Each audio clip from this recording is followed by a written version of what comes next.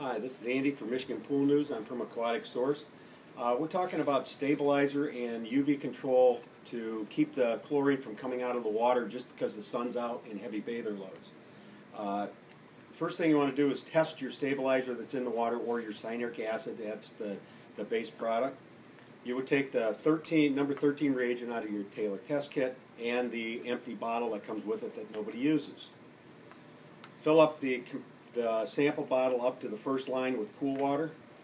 Take the number 13, fill it up to the next, the second line, put the cap on, shake it, pull it, shake it for about 30 seconds. After that, lift the spout and squirt it into the small side of the comparator. There is a dot in the bottom looking through the top until the dot disappears.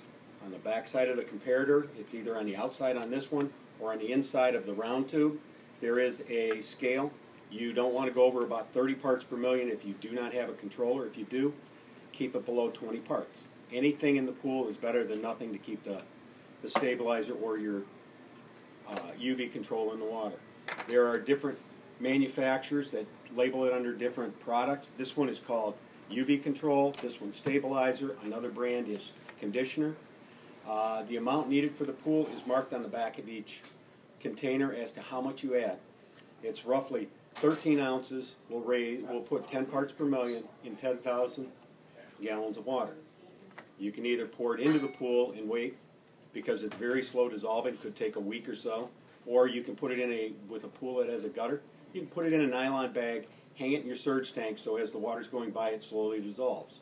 If you have skimmers, you can also put it in a sock of some sort or a nylon bag, put it in the skimmer basket, and when you go to clean the baskets out, you can pull out the uh, nylon bag with the stabilizer in it and set it aside, clean your basket. When you get done, put it back in.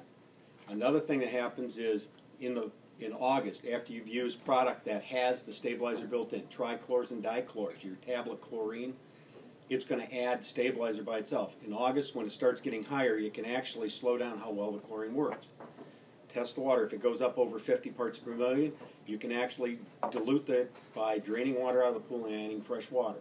There is no product that takes stabilizer out of the water except dilution. Again, this is Andy from Aquatic, or from Aquatic Source for Michigan Pool News. Thank you.